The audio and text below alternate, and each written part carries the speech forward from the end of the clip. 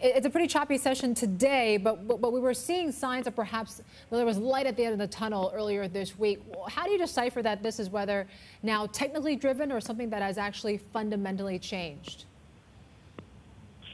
Um, well, first of all, thanks very much for inviting me on.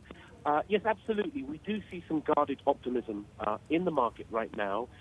Uh, the market is very much focused on the rate of change uh, in uh, the level of infections, and of course, to the extent there's a view that um, these are topping out, at least uh, there is a, a sense of uh, uh, a view that um, markets potentially um, have uh, hit the lows.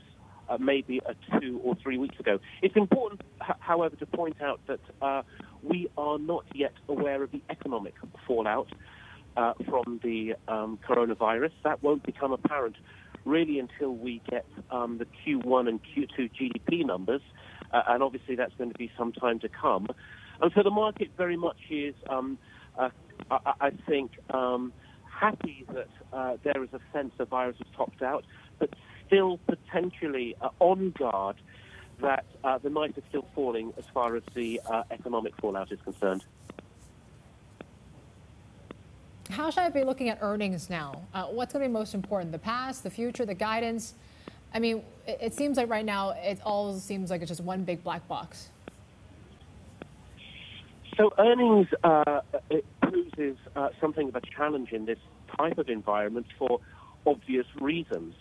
Um, as central banks are providing bridging finance to uh, various uh, employees and employers uh, around the world, clearly there's going to be a profound impact of, of the lockdown uh, and more broadly the corporate uh, shutdown uh, on earnings. In our view, we're not even close yet to even getting a sense of uh, what those earnings downgrades should be. I've read um, forecasts amongst our analysts of even um, up to 50%. Um, of further earnings downgrades likely. So I think we're a long way away from getting a sense of clarity.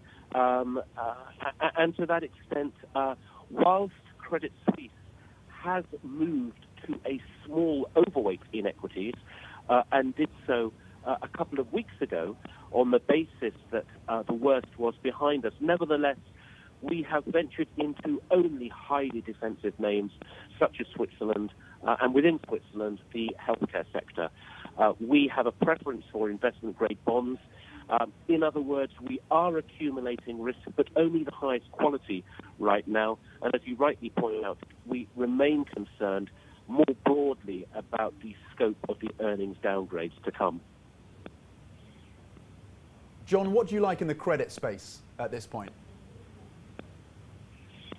Well, in Asia, I have to say, uh, the um, Asian high yield space uh, looks particularly attractive. Right now, the market is uh, pricing in a cumulative default rate of around 20%, uh, where it has only measured 2% uh, over the last uh, 10 years. And so, in my mind, an awful lot of bad news, uh, an excessive amount of bad news has been priced in, uh, and where issuers still need to be extremely focused on the underlying credit quality of the names they buy. Nevertheless, I do think uh, you are being rewarded and compensated for the risks you are taking. In the investment grade uh, credit space in Asia, uh, I think um, we can expect uh, total returns over the course of the next 12 months of between uh, 4 and 5 percent.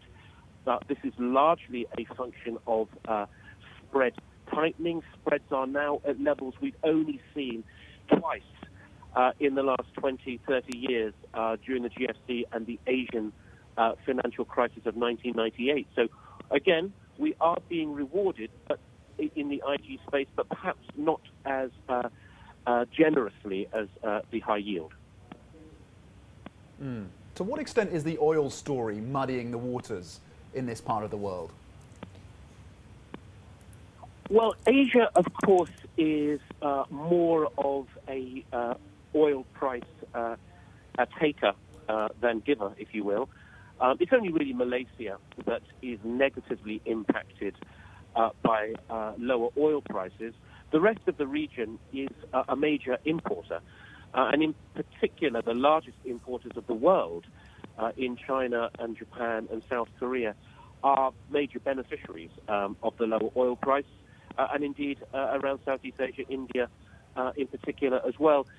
Um, of course, weak and low oil prices reflecting a collapse in demand um, is clearly a negative. Uh, oil prices at sort of 20 um, plus levels uh, reflects an, uh, a global economy on uh, the point of recession, which of course it absolutely is. But if oil remains at these sorts of 20, 30 dollar levels um, into next year, 2021, then I think it will be an unambiguous positive for the Asia region. John, we've seen when it comes to the credit space a massive amount of debt issuance in the U.S. side. Are you seeing that in the Asia region as well?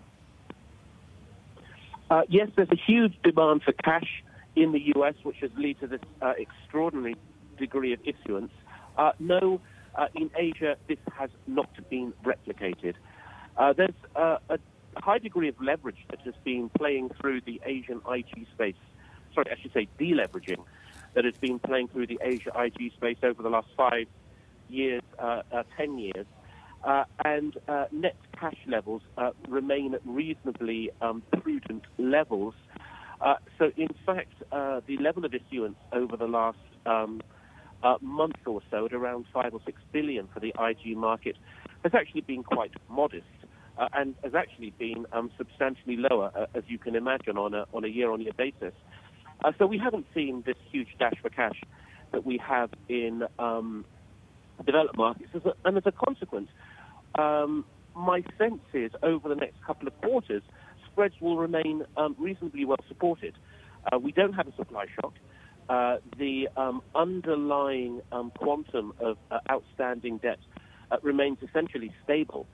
Uh, and as such, I think the market um, uh, and, and market levels will remain supported.